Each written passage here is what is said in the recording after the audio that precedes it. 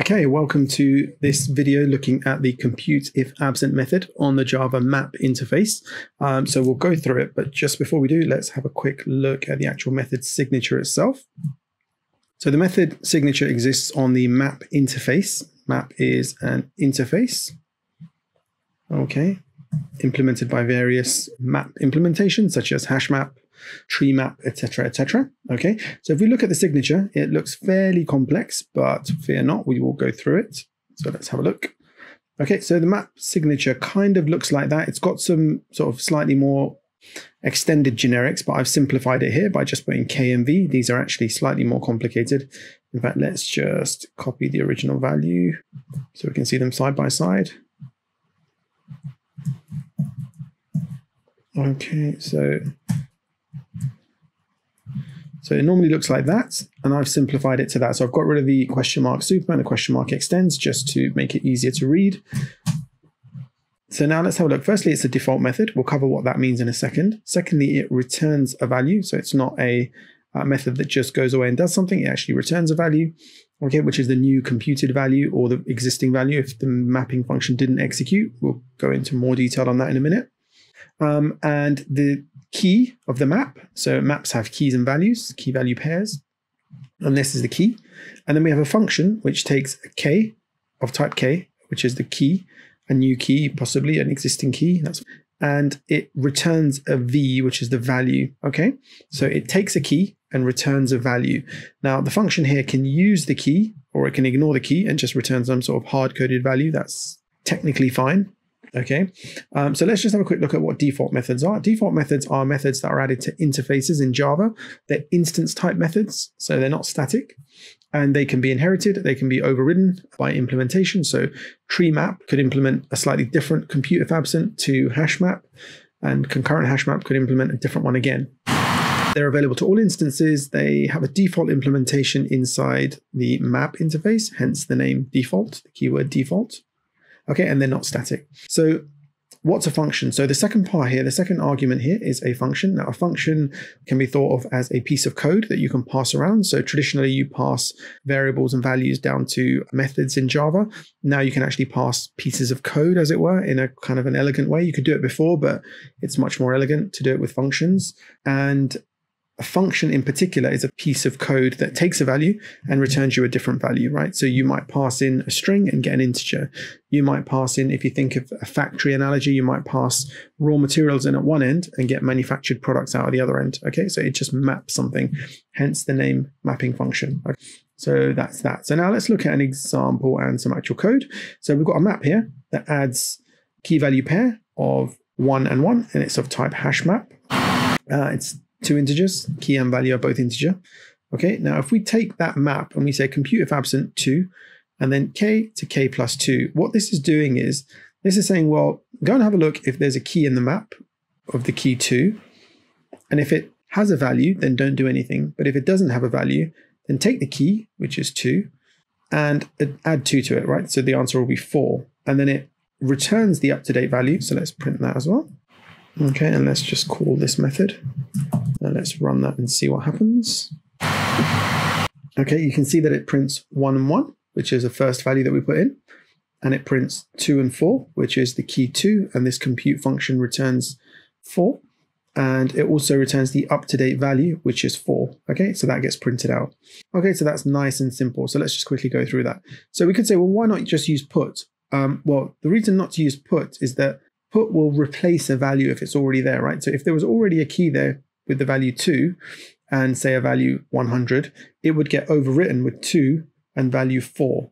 We might not want to do that. We might only want to put something in the map if it doesn't already exist. The other thing is that this returns a computed value, so we can pass in a function to compute the value. You can't do that with puts.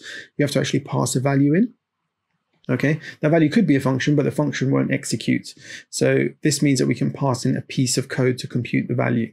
And also this returns the up-to-date computed value. So that's quite useful. So now let's go and have a look at why we can't use put if absent, which is a kind of similar method. So we've got compute if absent. Why can't we use put if absent? Well, the interesting thing to note about put if absent is that firstly, it doesn't take a function as an argument. So if you've got something complex you want to work out in Java, functions are lazy. They're lazily evaluated as and when you need them. Whereas this is an actual value. If you put a piece of code in there, that value will get computed. Okay. Whereas we only really want to do something if we actually need to generate it, not just at the call site. Okay. And put if absent, the other big difference is that it returns the old value. Now we may want to generate a value, get the value back and operate on that value. But in, in put if absent, you get the old value back, right? So that doesn't really facilitate lots of the things that we're going to look at in the next few sections, which are very useful. But we can't do that if we use put if absent. Okay, so one of the use cases for this function is if you want to construct a new object. So we've got an example here. We're constructing a new integer. Because it takes a function, we can use the method reference syntax. So this is very, this is basically equivalent of doing something like this.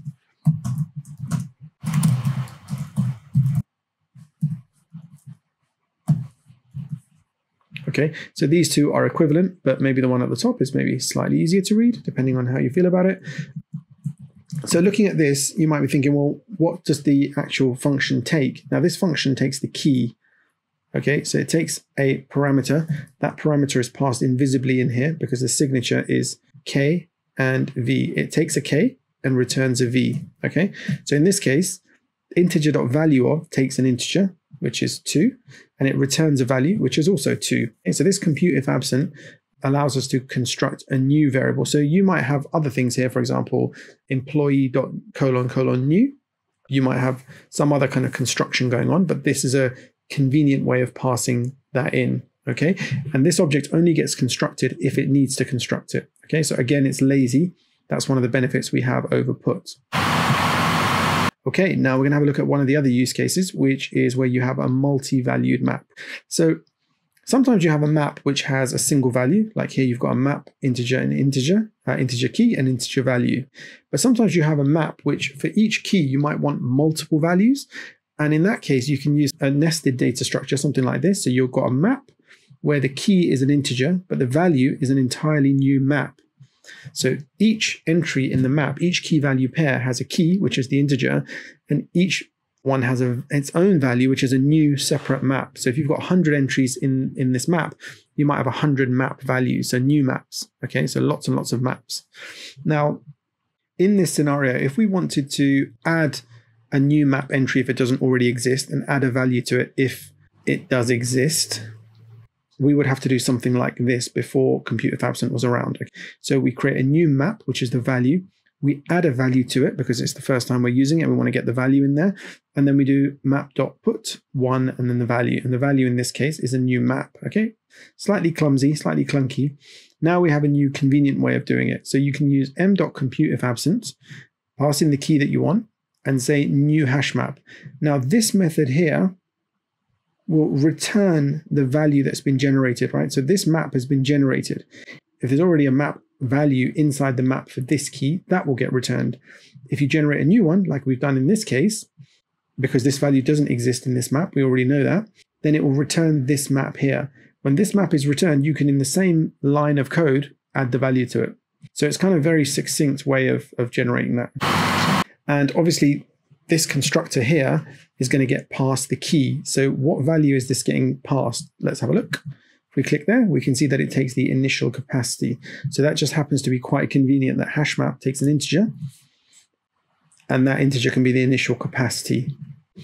Now, if you didn't want a hash map with the initial capacity, you could also do something like this. You could say, okay, and then say new hash map and ignore that initial value. Okay, you don't actually need to use it, but you can if you want to, so you can pass it here. But beware that in this case, it is getting passed in, and in this case, it's not, okay? Okay, and so next thing we're going to have a look at is memoization. Now, memoizing is a concept, when I think of it, I think of it from a functional programming perspective, where you have a function that is deterministic, meaning that every time you pass it certain values, it always returns the same value for those values. Okay, so it's it's deterministic. You can always be sure that it's if you passed it, you know, one and two, and it's an add function, it's going to return three. If you call it a thousand times with one and two, you know that it will keep returning three. Okay, so in those cases, many of those functional languages can memoize a function. What that means is that they can effectively remember. Once it's computed once, they know that for those given keys, uh, those given values, uh, it will always generate a particular value. Okay, so it doesn't need to go and then do that computation again. Now, in Java, we don't have an inbuilt function like that, but we might also want to reuse some values. Now imagine we have a map with integer key and integer value, and we have a kind of complex value that we want to generate and then fetch it. So multiple times you might be calling this method to fetch this value, okay? So what we want to say is compute the value if it's absent, but if it's already there and it's already been computed, then just return the value. We don't want to do it again and again. So if I pass this, for example, you know, if I had a method argument here that took a value, int i, I could pass that i here, okay? And then this would multiply it by 21, store it, the second time I call this method with that same value, it won't recompute the value. It will just fetch it because it already exists. So it will only compute if it's absent, okay, as the name suggests, and then return that value to you. Okay, so hopefully you think that's useful, the memoization function. It's generally not useful if the computation you're doing is super fast. It's actually possibly faster than actually fetching it from the cache. So this is generally useful for difficult or complex to calculate calculations or expensive calculations that require a lot of CPU or memory usage. Okay, um, but that's kind of an interesting pattern that may be useful to you. Okay, now we'll have a look at some of the exceptions that can be thrown from this method. So you can get a null pointer exception if the specified key is null and the map doesn't support null keys, or the mapping function is null. Unsupported operation exception if the put operation is not supported by this map. So you could think of an immutable map, any kind of immutable map. If you try and call compute if absent, obviously it's going to return an exception because it's not meant to be mutated. And this function tries to compute a value and assign it to the map. You can get a class cast exception if the value is not one that should be stored in this map.